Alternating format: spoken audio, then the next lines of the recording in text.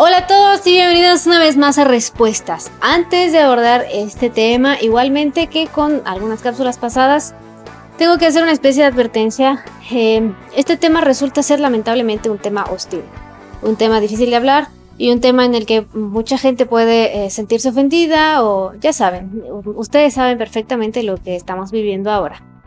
Quiero dejar claro que esta eh, no es nuestra intención, no es debatir, no es estar discutiendo con nadie. Este, nuestra intención no es discutir, ¿sale? Ni crear división. Nuestra intención es responder. Así que si tú eh, tienes ganas de discutir, te sientes ofendido por algo que, digamos aquí, o algo por el estilo, em, esperemos que esto no vaya a ocasionar una discusión. Nosotros no vamos a discutir, por nuestra parte no vas a tener esa respuesta. ¿Sale? Entonces, ahora sí, vamos a empezar con esto. Vamos a hablar acerca de la fe y la homosexualidad. Y antes que cualquier otra cosa, quiero decirte, eh, si tú eres homosexual, ¿verdad? Em, que lógicamente sabemos que hay mucha gente que ha podido lastimarte dentro de la iglesia. Queremos que sepas que esto no es correcto. Eh, no toda la gente es así. No debiste recibir esas ofensas ni esas eh, acciones por parte de los cristianos. Sabemos que eso pudo lastimarte. Y de todas formas, reiteramos que no toda la gente es así y que al final de cuentas, con quien vas a reunirte y con quien vas a estar dentro de la iglesia es Cristo mismo. Ahora sí, para ti y para toda la gente que está viendo esta cápsula, hay que dejar bien claro algo. Em, la homosexualidad no es un pecado. ¿Cómo? Bueno, la homosexualidad no es algo que se decida, ¿sale? tampoco estoy diciendo que hay gente que nace homosexual y el siendo homosexual, no, no, no, eso no existe. Pero el homosexual no elige ser homosexual, ¿sale? Hay mucha gente que incluso sufre por asumir eh, esta homosexualidad, este, eh, atracción por el mismo sexo, todas estas cosas que son difíciles. Por eso es que al no ser elección, em, la homosexualidad no es un pecado, ¿sale? Ni siquiera es un pecado que el homosexual se enamore de otra persona, eso no es un pecado. Lo que sí es pecado es el acto sexual homosexual, ¿sale? Eso sí está muy, muy claro. Eso sí es pecado porque eso sí que se elige, ¿sale? Esa sí es una elección y ese sí es un pecado y ese es el único pecado. Y lo voy a estar reiterando muchas veces en esta cápsula. Ser homosexual no es pecado. El acto homosexual sí es pecado. La diferencia está en que no se elige, la homosexualidad, pero el acto homosexual, hacer el acto homosexual, sí se elige. Eh, de cierta forma vamos a resumirlo así, aunque suene un poco eh, eh, grotesco. el único conflicto que tenemos, ¿no? Como cristianos, como Iglesia Católica, es el ejercicio de la sexualidad homosexual. Y entonces, si no existe esto, un homosexual puede tener una vida plena cristiana magnífica. Y hay muchos ejemplos de esto, ¿sale? Hay muchos homosexuales que viven una vida cristiana plena, completamente felices, en castidad y completamente llenos, como debe ser. Entonces, dicho esto, podemos llegar a la conclusión de que el homosexual no está excluido de la cristiandad, ni del catolicismo, ni de nada, de esto. No está excomulgado, no está hecho a un lado eh, por el simple hecho de ser homosexual. No es esto, ¿sale? Y entonces uno puede decirme, bueno, no estoy eh, excluido, pero no me dejan amar a quien yo amo como quiero amarlo, ni me dejan tener relaciones, ni me dejan ser quien soy. Eh, y bueno, eh, tendemos a darle un valor tan grande a la sexualidad em, de una manera distorsionada, no sana. Em, y el sexo no te hace ser, ¿vale? Para nosotros como iglesia, pedirle a alguien que no tenga sexo no es algo imposible, ¿sale? O sea, la gente nos, ve así como, ¿cómo? ¿Cómo la iglesia pide eso? Pero pues es que para nosotros es algo completamente normal, ¿sale? Nosotros vivimos todo el tiempo, conocemos, tenemos dentro un montón de personas vírgenes, un montón de personas castas y un montón de personas célibes que sí cumplen. Que esto hayas escuchado, que no cumplieron y chismecillos por ahí, eh, no significa que no haya gente que vive el celibato y la castidad y la virginidad con perfecta plenitud. Por lo tanto, para la iglesia no es imposible pedirle a la gente que no tenga relaciones sexuales. O sea, para la iglesia la sexualidad no es una necesidad, ¿sale?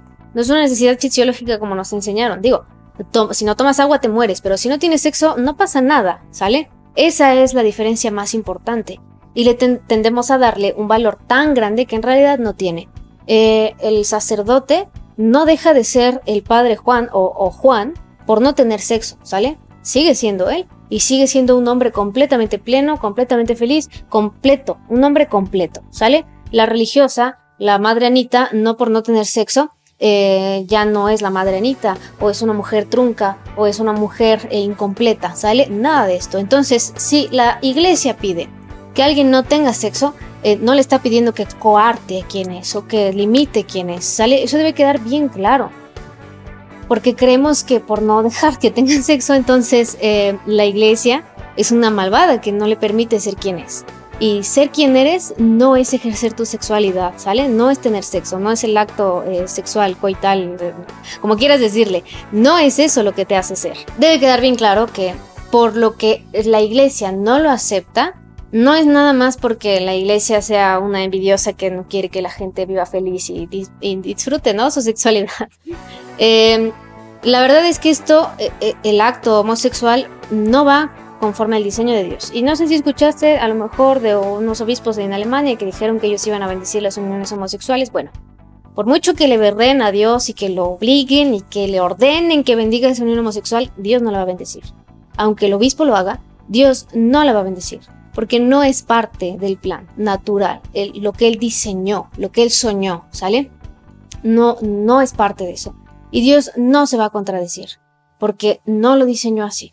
¿sale? Y de cierta forma puede sonar doloroso, pero mira, lo que yo sí quiero que, sepamos todos y que tengamos bien claro es que no por ser homosexual y ejercer la homosexualidad está alguien discriminado, ¿sale? Eh, así, los novios que tienen relaciones sexuales antes de casarse, los que viven en unión libre, eh, los divorciados vueltos a casar también, de cierta forma, eh, un asesino, una persona que ha abortado, un ladrón, todas estas personas que están cometiendo pecados Em, la iglesia no les da la comunión, porque es un pecado, ¿sale? No va de acuerdo con el diseño de Dios. Em, no es por ti, no es por ser tú, no es por lo que tú eres, ¿sale? La homosexualidad no es pecado. Lo único que es pecado es el ejercicio de la homosexualidad que no define quién eres, ¿sale? Y aún después de haber cometido este acto homosexual, Dios sigue dando la oportunidad de volver a empezar. Mira, lo que Dios va a querer siempre es que seas realmente feliz, que vivas una vida realmente plena, Em, que seas de verdad muy feliz. A pesar de las dificultades, sigas siendo muy feliz. Eso es lo que Dios quiere para ti. Y lo que la iglesia te propone es lo que ella sabe que te va a hacer feliz. Lo que Dios propone para que tú seas feliz, vivir en castidad. No es imposible ser homosexual y ser un verdadero cristiano pleno, real. No es imposible, hay muchos ejemplos. Y lo único que se debe hacer es querer vivir una vida realmente plena en Cristo, tomar la decisión, elegir a Cristo. Eso es lo que se debe hacer. Eh, lógicamente hay muchas cosas que em, la gente eh, no acepta y no por, no por aceptar las uniones homosexuales ni nada de esto, ¿sale? Ni el lobby LGBT, que tampoco es algo que la iglesia vaya a aceptar, porque propone cosas que para la fe cristiana eh, no planifican a la persona, sino que le mienten y le hacen creer que es feliz cuando no lo es. Entonces las mentiras, pues la iglesia no lo va a apoyar, ¿verdad? El, lobby, todo esto, para la iglesia no. Una persona homosexual no puede ser rechazada por la iglesia ni por la gente que es cristiana. Por eso decía lo que dije hace un principio. Y siempre hay que seguir trabajando por corregirlo, por ser un verdadero ejemplo de cristiano, un verdadero ejemplo de Cristo y tratar a la gente como Cristo la trataría. Y pues bueno, espero haber respondido esta pregunta. Ya sé que es un tema muy complejo. Eh, no, no es que yo sea la gran experta en este tema. Eh, pero sí es importante exhortar a todos a vivir una vida cristiana plena, sin juicios eh, y también siendo muy caritativos, muy amorosos, comprendiendo lo que sufre el otro, comprendiendo por qué el otro vive lo que vive, hace lo que hace y dice lo que dice también. hay que comprendernos entre todos y hay que ser cristiano, ¿sale? Hay que aceptar lo que la iglesia nos da porque de verdad es lo que más felices nos puede hacer. Y pues bueno, si tienes más preguntas también relacionadas sobre este tema, puedes escribirlas en este video para que te respondamos por escrito o puedes escribir en mi Instagram y nos vemos muy pronto para seguir hablando de Dios.